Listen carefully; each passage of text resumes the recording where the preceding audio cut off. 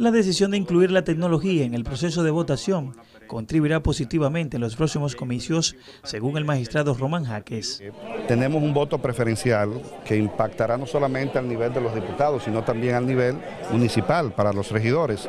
Eh, y la tecnología eh, ayuda al proceso de escrutinio. Similar posición tiene José Ángel Aquino, ex miembro de la Junta Central Electoral, quien valoró como positivo que se esté consensuando con los partidos la modalidad del voto automatizado.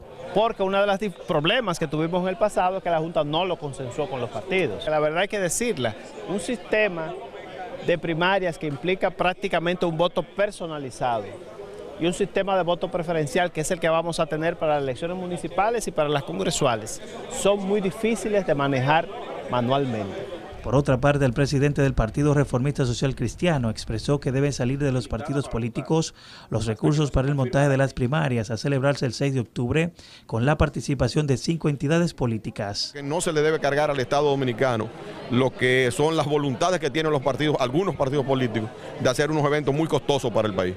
Federico Antún Valle enfatizó que incluso algunos dirigentes pueden aportar al certamen electoral. Que tienen tanto dinero algunos que deberían sacarlo de su propio peculio, ni siquiera el dinero de los partidos, del peculio que tienen algunos que tienen grandes fortunas en este país que no pueden demostrar cómo lo han conseguido.